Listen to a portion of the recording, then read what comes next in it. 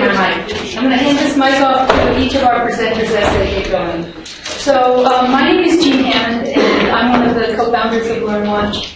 And um, the reason why I'm selected to moderate this panel is really Down says, um, watching the clock and telling them to stop when they've talked long enough. So that's not very much moderation, is it? But the reason I'm doing it is because I've been a full-time angel investor for the last 12, 13 years, and so I've watched a whole lot of pitches, and we watched these guys a couple times on their way in, and um, and uh, and so it's uh, it's it's actually a joy to have a, a chance to introduce a bunch of entrepreneurs who are going to do uh, a great job telling you about their companies. So, how many people in the audience have ever pitched for external money? Whoa! I think we found all the entrepreneurs and brought them into this room. Um, that's not true. We had a 160 or something entrepreneurs registered. Shocked us. So we're really excited about uh, about what's going on in learning and education technology here in Greater Boston, and uh, we think that this is going to be the start of a conversation that goes on for quite a while. So I'm actually going to let each of the presenters introduce themselves as they come up um, as a part of starting their pitch. And each of them are going to go for about five minutes. We're really not going to do questions. We're not going to do feedback. But I'm sure at some point here at the very end we'll um, we'll have uh, uh, we'll have a few minutes to uh, to think about things. We're supposed to be um, back downstairs um, a little after uh, four, by 4.50 or so, so we really won't have very much extra time. So as an angel, when I'm watching a pitch, I, I, I try to think of a bunch of different things. I finally decided that the reason that I had five fingers was that I couldn't actually remember three things, and so five is a good number and I can put it on my fingers. So I think about the product. What is the product? Um, and um, and how is it going to get into the market? What's the market's acceptance of that product? Is it a great product that will meet a need? I think about um, I think about the the promotion. Basically, how are we going to get into the market? Do we have a clue who the user is? Do we have a clue how to sell? What is what what are all the parts of that? And then I think about um, I think about the profits. Is this going to be a profitable com- company? Have they thought through a business model that's going to make a difference? Um, think about the plan. How far along are we, and what will be the next thing that we need to um, uh, to do in this company, uh, depending on the amount of funds that we're able to raise. And of course, the last thing we think about is the people, um, because people is uh, people are the fuel that make companies really grow, and um, and so that's a lot of fun. So without further ado, we'll introduce our first speaker, um, Ogden Morris from Academic your.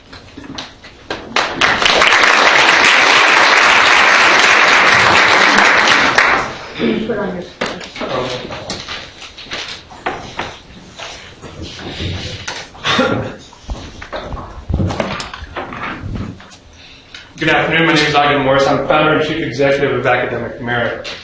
There's, it, there's universal agreement that effective writing is absolutely crucial to success in college and career. And yet in 2011, 73% of students taking the NAEP scored below proficiency in writing. 73%. And now the Common Core standards are actually raising the level of rigor in writing, threatening to cast a, a very, very bright light on this deficiency, as, as Seth Reynolds mentioned in his, um, in his keynote address.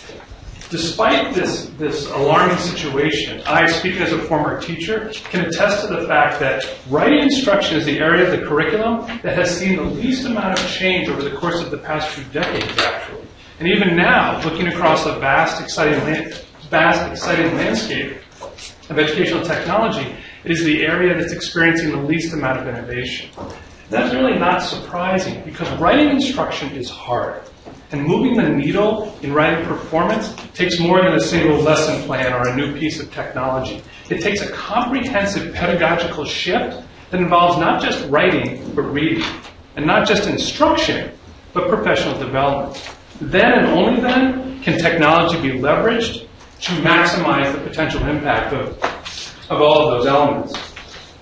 That takes time, it takes expertise, and it takes a deep, almost intuitive understanding of the needs of students and teachers. And that is also what we at Academic Merit represent. In the Common Core era, when it comes to writing, what's being asked of schools specifically is that they need to put in place a system for measuring student performance in writing over time. That's as opposed to measuring achievement, which is going to be handled by Smarter Balance or PARCC. They need to obviously improve instruction, and they also need to expand that instruction across the curriculum, which is a mandate for the, uh, as part of the Common Core. And of course, they need to do all of this on very tight budgets. What we at Academic Merit have done is to develop a suite of award-winning tools to help schools address all of these needs and to do so in a time and cost-efficient manner. Here's how. Assessments 21 provides classroom-based common informative assessments in reading comprehension and writing, all aligned directly with Common Core. Fine-Tune is a first-of-its-kind online professional development tool that strengthens and calibrates teachers' evaluation of student writing to a Common Core aligned rubric, which in turn prepares them to evaluate Assessments 21 essays. And finally, Literary Companion is a, is a text-dependent close reading tool that strengthens the very skills that were measured by Assessments 21. All of these tools reside in a cloud-based environment and are anchored in uh, patent-pending IP. And what they do ultimately is to provide schools with data that they don't have right now. Data that can inform differentiated instruction and can also inform um, uh, targeted professional development. So in a nutshell, what we're doing is we're providing the needle and we're helping to move it. And in the process, we are uh, disrupting traditional pedagogy, and we're also disrupting the traditional model of professional development in favor of one that is online and data driven. We have received ample recognition in this space over the course of the past few years, beating out a number of, of uh, larger companies in the space on my dad. And as we move into this, uh, in, in, our, in the segments in which we compete, which is professional development and classroom assessment products, which are multi-billion dollar segments, we bring a number of advantages, not the least of which is our first of the space timing and our first of its kind teacher-generated data. We, uh, in, uh, our tools are sold on an annual subscription per user basis.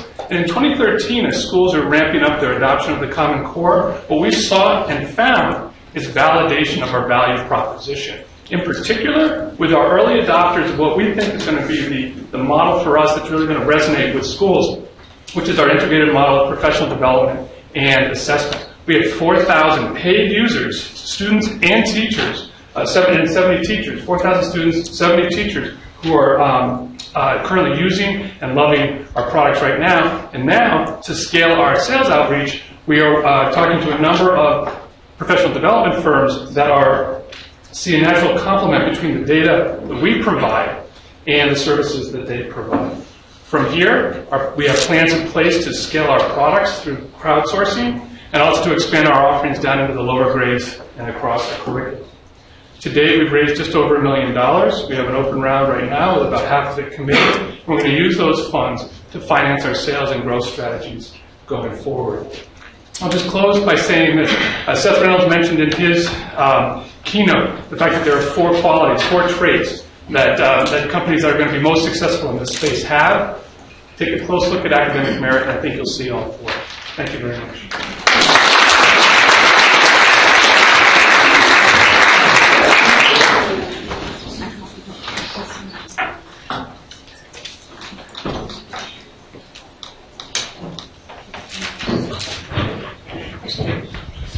I forgot to say that all five of these companies are currently fundraising.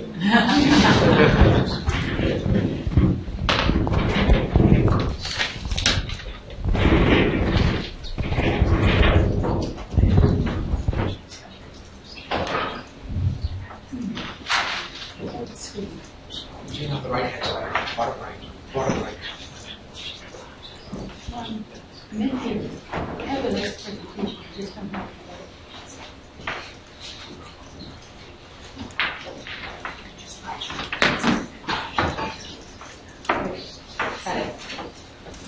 Thank you. Go ahead and introduce yourself. Hello everyone, my name is Nurjot Kaur and I'm one of the co-founders of Academic Room. Is a social platform where academia meets industry. While today most of the companies in higher ed are focusing on the delivery of education itself, we are focused on the delivery of academic content and market opportunities for academics. The problem we are addressing is twofold. First of all, whether you're from academia or uh, industry, today there is no place where you can go and find everything related to a discipline at one central location. By everything, I mean content, people, and opportunities.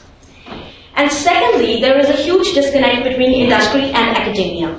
Uh, there is no platform where there is collaboration between industry and academia. And today, if industry is looking for academics and um, want to have them work on a speci- specialized project within a specific discipline, there is no place where they can go and find them. So we are addressing this problem by Academic Room. Academic Room is a disciplined ecosystem of content, people, and opportunities all at one central location. People in academia and industry are interacting with the content that is fed into our system in multiple formats. They're interacting with each other, and most importantly, they are bidding on uh, bidding on the uh, the projects that are listed through our marketplace. So we have jobs and uh, networking and content uh, all at one uh, place.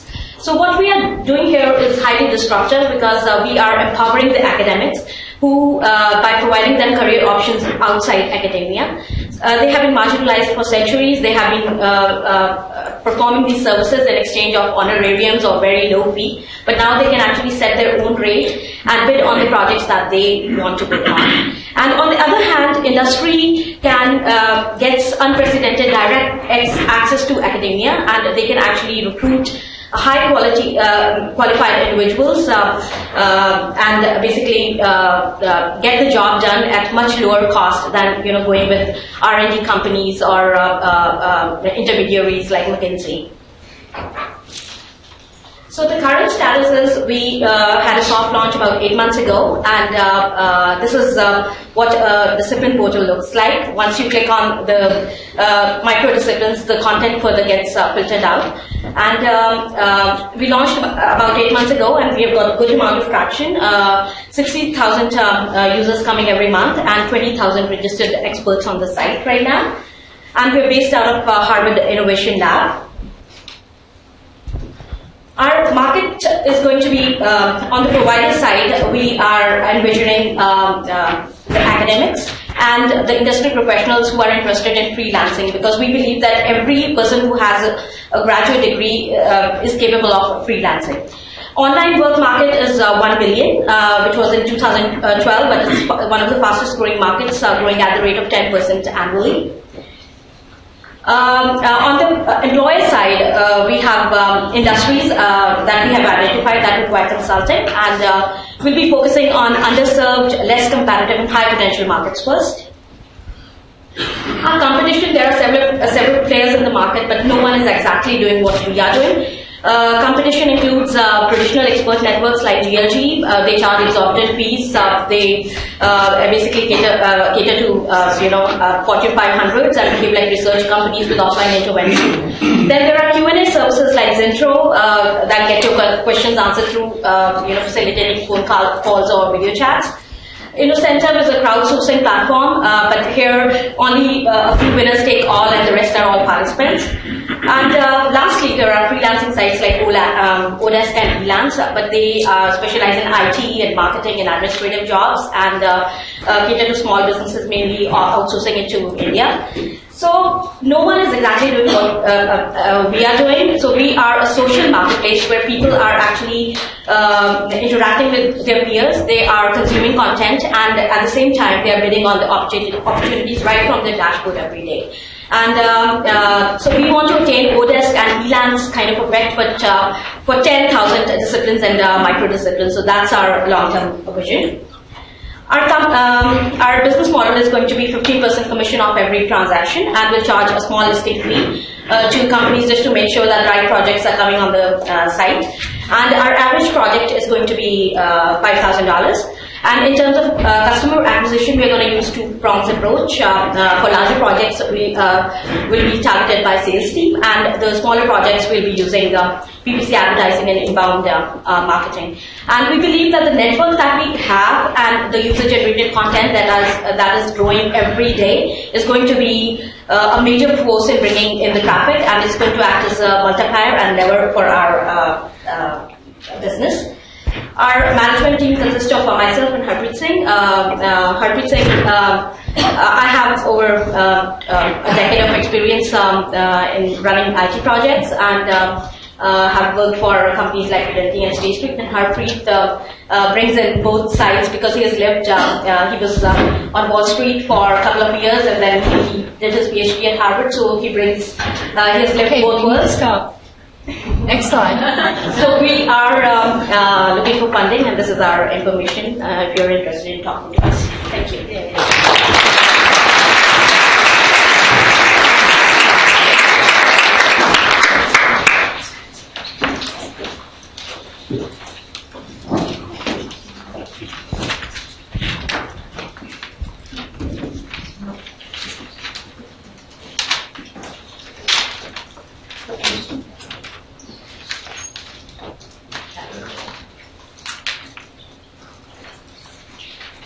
Okay, great.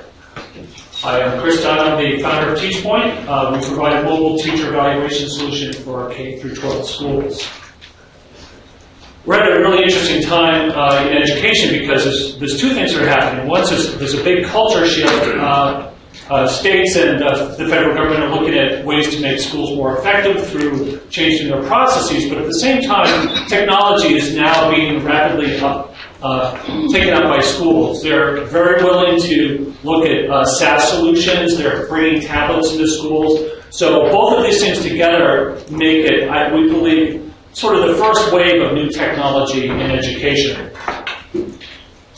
TeachPoint provides uh, a teacher evaluation platform. So we have a native iPad app that administrators can use. Essentially acts as their own personal database of teacher evaluation information. They can carry it from classroom to classroom, do evaluations. It can be used with and without Wi-Fi. Uh, and automatically notify the teachers electronically when observations are created. Uh, we have a web portal for teachers to log into, uh, and they can read their evaluations, do self-evaluations, or in fact respond directly back to the administrators. So essentially, it's a collaborative platform to implement a teacher evaluation system. However, we're not, we don't provide the system itself, but we do provide a library of forms and so forth, but we feel we're process and form agnostic. We provide a platform upon which a school can customize their own evaluation process. And of course, we have electronic signatures and photos and attach, we can attach documents and do a number of other things. But what we really focus on is providing two-way communication between administrators and teachers because we feel that that's really the professional development aspect of the evaluation process. Um, and what a lot of superintendents realize is that if you're going to spend the time to um, do an evaluation process and create uh, an infrastructure, you want to you want to spend most of the time on the 98% of the teachers that are really motivated and interested in making the experience better, and not so much on the 2% that might need remedial uh, help. So um, we provide tools for system administrators to uh, implement the system. Uh, it takes four easy steps. We integrate with school information systems, uh, and we provide tools for the central office to manage and track the uh, evaluation process over time. Uh, the core team is myself. I've been in software development for 25 years, 10 uh, in mobile and web. Diane Kelly is the director of business development sales, and Chad Ramelli is the director of operations. We started, we launched the product uh, in the fall of uh, 2011, so a year and a half ago, with two districts uh, that were our, really our co-developers with the product. Uh, and in the last 12 months, we've signed on about 100 school districts and 22,000 users. Uh, so we've, we've seen a lot of uh, success in the, in the recent past. Uh, we feel that TeachPoint is uh, well positioned in the SAT for uh, to make it very affordable for any school. Really, the uh, the big competitors that were out there before the Race to the Top program took place were really way too expensive for most schools. They're very expensive, plus $20,000 plus per year pricing, which makes, means only the wealthiest commi- uh, communities can really adopt those types of systems. On the other end of the spectrum, some schools try homegrown systems, but they don't have the enterprise capabilities that you really need to do to have to uh, implement uh, a system of uh, student uh, teacher evaluation. So twenty dollars per year, very affordable, easy to purchase, doesn't really hit any of the RFP requirements for schools. We sell directly to schools uh, and districts. So our plan really is to uh, bring investors in and really expand on their success. To we've been mostly regional, most of our schools were Massachusetts and Vermont, uh, and to accelerate R&D.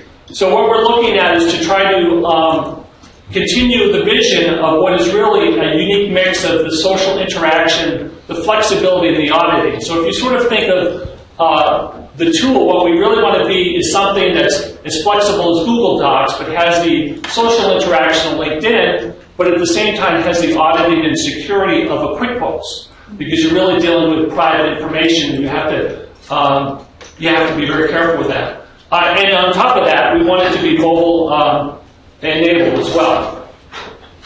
So. Um, Right now, we're in teacher evaluation, but we believe that the technology we're developing uh, is very applicable to student assessment, and after that, uh, even uh, non-educational um, human resource management types of systems. So, thank you very much.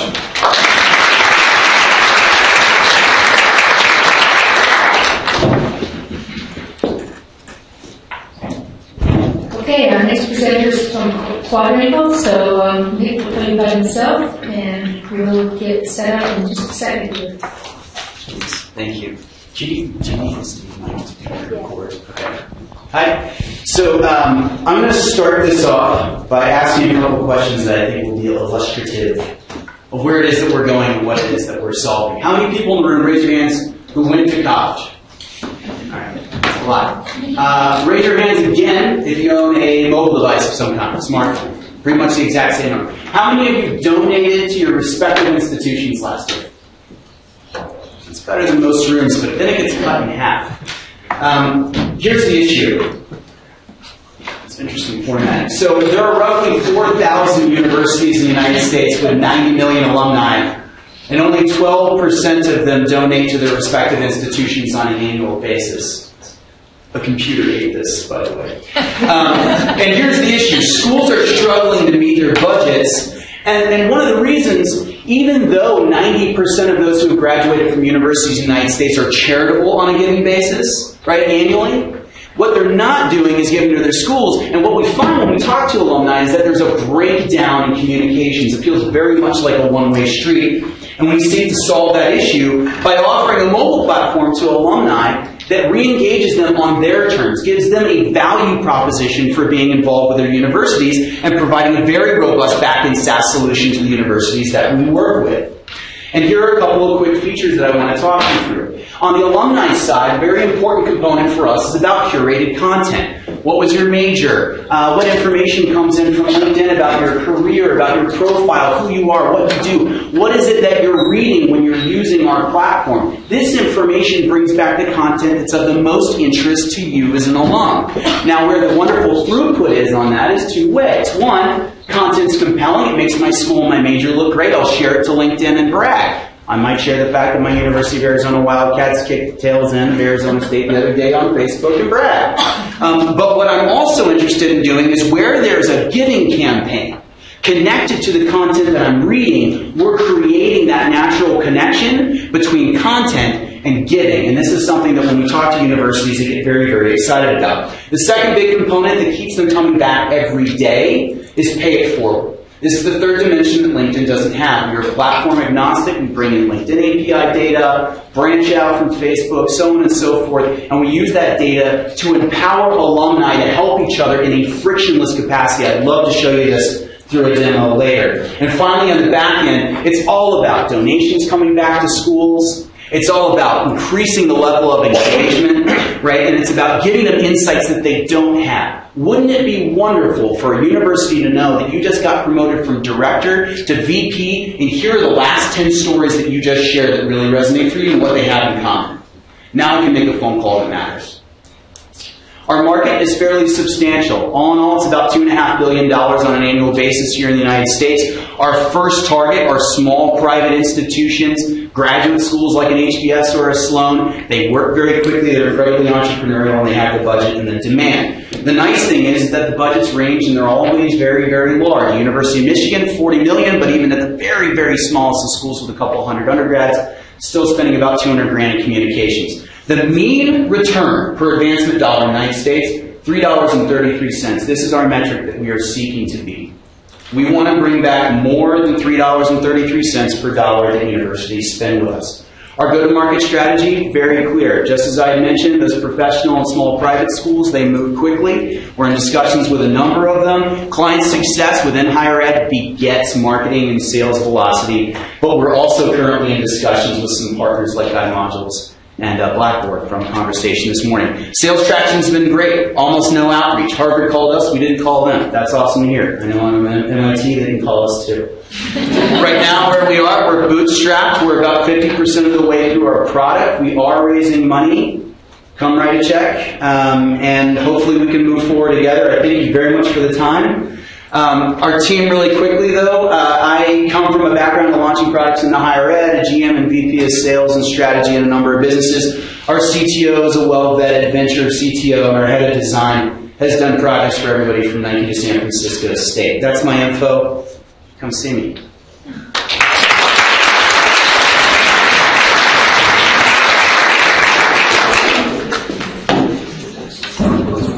Thanks. We have one more presenter, and then we'll uh, take a chance to uh, to go down go downstairs um, and and see a few more things. Um, the the um, how are we doing? Are they interesting companies?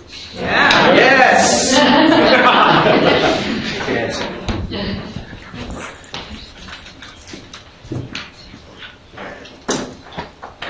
Okay. All right. Hi, I'm Ben. I'm the co-founder of Socrative, and we're a classroom tool to measure and visualize student understanding in real time. We believe that assessment is flawed. Currently, testing practices are working against teachers, students, and the overall learning process. And we're going after two specific problems. First, we think that the classroom lacks real-time visualization. Teachers are getting too few data points throughout the class in order to make informed decisions. And we know that there's a lot more data to see. We also think that quizzing and testing is an extremely manual process. Through the creation, the printing, the distribution, and the grading, teachers are spending way too much time on that manual process. As a result, we've created Socrative. Socrative is a classroom tool, as I said, for measuring and visualizing student understanding.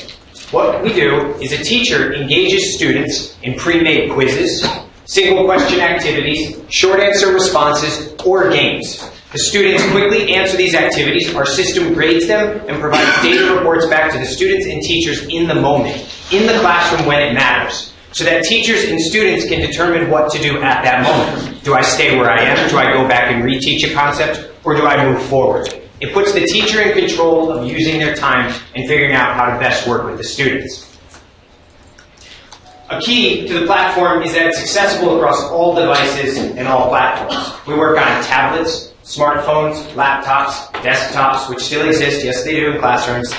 And we also have iOS and Android apps. And we work on all browsers. Our second most popular browser by our users is Internet Explorer, believe it or not. And this isn't Internet Explorer 10 on the new Surface tab. This is Windows Internet Explorer 7 and 8.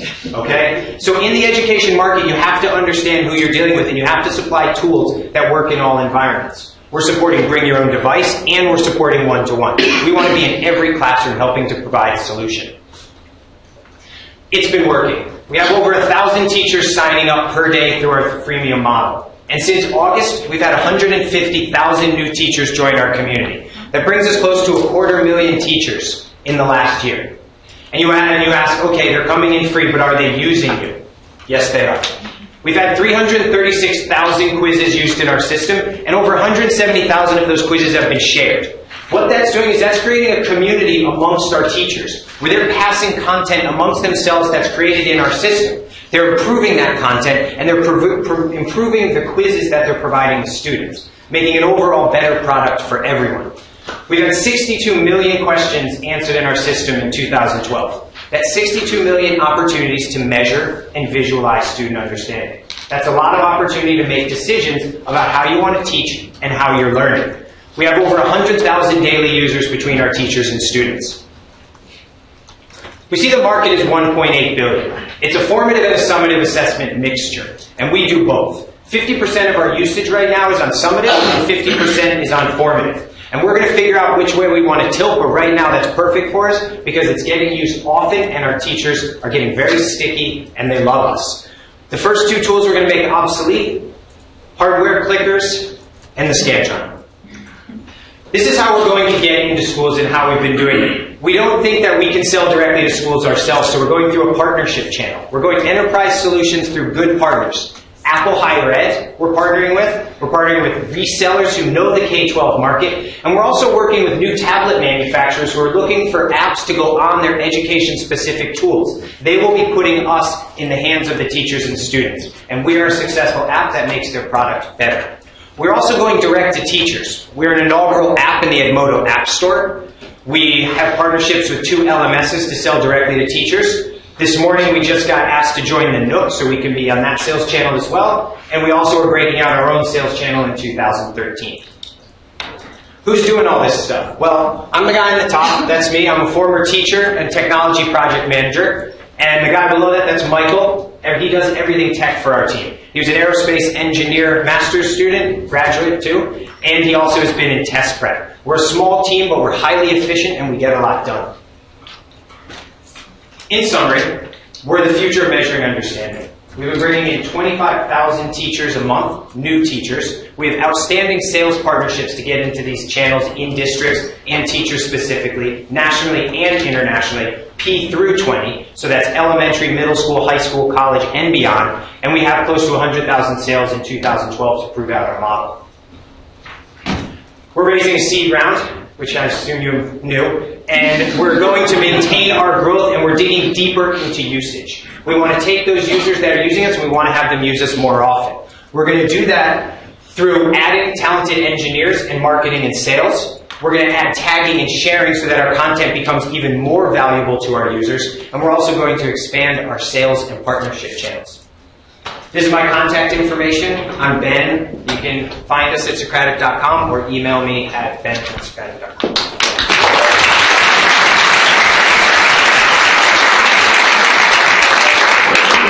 Okay, well, I think that's our five companies. So um, we didn't have Socrative give us their app for, for you to all vote with, but why don't we just take a show of hands and see um, how people thought we did. Okay, academic merit. Who thought that was pretty cool? Yay. And who thought the academic room? Yay. Okay, and our next one was uh, Teach Point and quadrangle and Socrative. Okay, now we know what you guys are thinking. Now we just have to find some more investors. Okay, so um, um, wait, we have somebody wants to make a comment. You, you've heard a lot of these. How did these do generate any uh, observations? Well, everybody's scaling is in this picture, so there's lots of uh, there's lots of stories about lots of users. I'm just wondering from your perspective, any, any take? Well, again, I think uh, from my perspective, uh, we we we picked the ones that we thought were in fundraising that were really credible and doing a great job. We think that in most cases there'll probably be a few more things to add on to make them be able to, you know, become as um, as sticky and have as powerful business model as as, as is possible. But uh, but yeah, we, we we're pre- we're pretty psyched here. Okay, we have another hand. up. I just want to say that I'm a teacher and I use Socrative and I love it. I use it.